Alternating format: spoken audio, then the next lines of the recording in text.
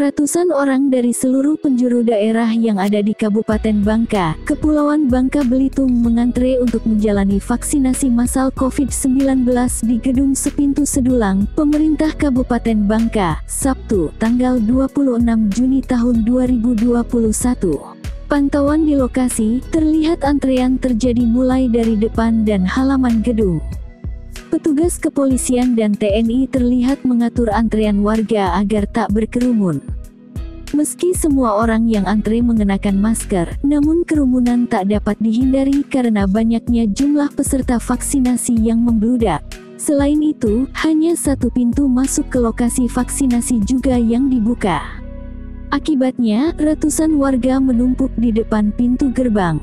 Selain itu, saat berada di dalam pun, mereka tidak langsung dilayani, tetapi harus kembali menjalani serangkaian proses verifikasi dan pemeriksaan tekanan darah.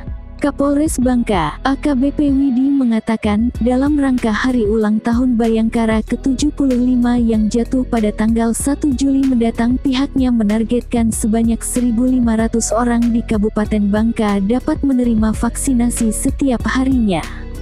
Perwira Melati II ini menyebut, kegiatan vaksinasi massal COVID-19 juga dilakukan di beberapa fasilitas kesehatan yang ada di setiap kecamatan yang ada di Kabupaten Bangka.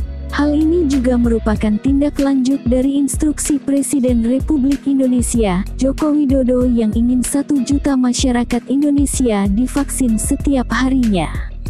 Sudah disampaikan oleh pemerintah, kan, dalam ini juga dari Kementerian Kesehatan bahwa ketika orang selesai melaksanakan vaksin itu eh, paling tidak menunggu selama satu bulan ya kan, untuk membentuk imun di dalam tubuh. Oleh karena itu bukan berarti ketika sudah selesai vaksin warga masyarakat ini lupa terkait dengan protokol kesehatan yang ada. Ya kan? Yang paling simpel itu tadi lah yang sudah disampaikan terkait dengan penggunaan masker itu aja yang paling simpel.